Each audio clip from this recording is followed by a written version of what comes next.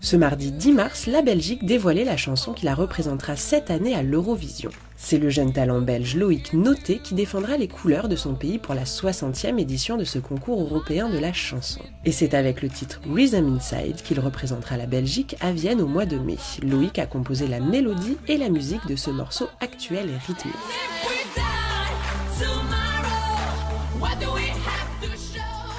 Donc euh, quand j'ai composé la, chanson, euh, j'avais des daddy dada,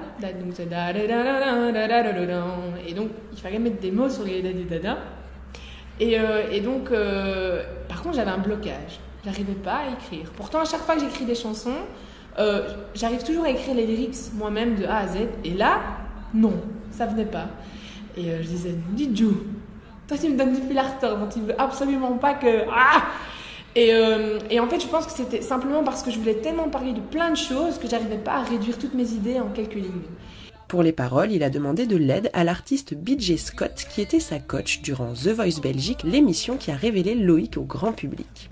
Maureen, présentatrice de The Voice Belgique, se souvient de la première audition du candidat. Donc je découvre sur scène, je suis donc dans, dans, dans, dans le studio avec sa famille, on découvre l'audition et là je me dis waouh quoi incroyable, une voix super belle et une voix euh, androgyne, parce qu'il voix super, il s'est montré très haut, il, le démontre encore dans, cette chanson de l'Eurovision, mais euh, donc j'étais là genre dingue, et puis les coachs se retournent évidemment euh, tous, je pense, et là, et là ils, se demandent en fait, ils n'étaient pas sûrs que c'était un garçon parce qu'il a une voix tellement particulière.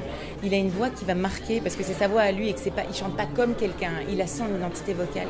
Il a vraiment son style et je, trouve ça assez rare en fait.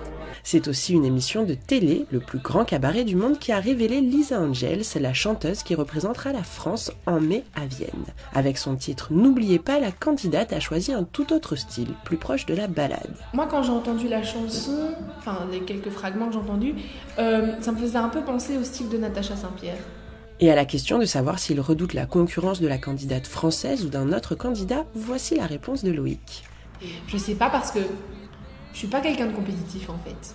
Donc comme je suis pas quelqu'un de compétitif, je cherche pas à, chercher la petite bête, genre euh, ouh là là, lui il faut faire attention parce qu'il va me déglinguer, ou eux aussi.